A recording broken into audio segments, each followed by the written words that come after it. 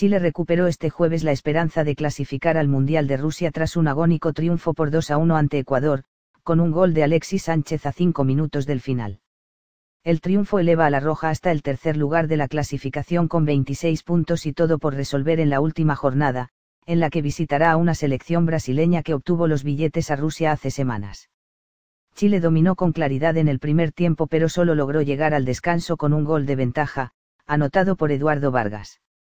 Tras el descanso, la Roja reculó y los ecuatorianos lo aprovecharon para empatar en el minuto 84, pero el tanto de Alexis salvó los muebles a última hora. En el aspecto ofensivo, Ecuador dejó mucho que desear en el primer tiempo y los arietes no lograron inquietar el arco de Claudio Bravo.